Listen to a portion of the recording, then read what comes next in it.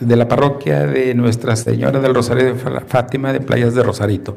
La pregunta es, traigo porra, la pregunta es, tengo una prima en el estado de Puebla y me pregunta que algún, alguna persona o algún niño le preguntó cuál era la diferencia entre alma y espíritu.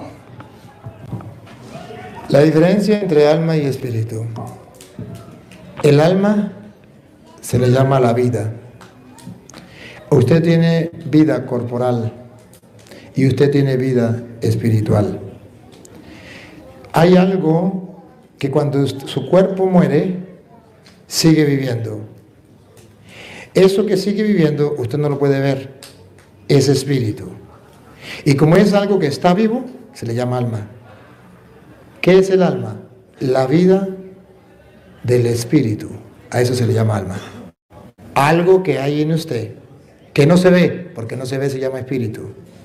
Que no es algo muerto, entonces es alma, tiene vida. Bueno.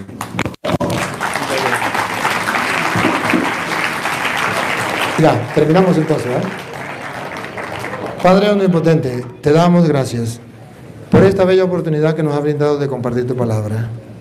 Yo como sembrador he sembrado la semilla y te suplico que la haga crecer en la mente y el corazón de todos aquellos que han querido escucharle y que han abierto su mente y su corazón a tu divina palabra. Señor, que no seamos sordos a tu voz y que esta palabra nos fortalezca cada día más en la fe, en la esperanza y el amor.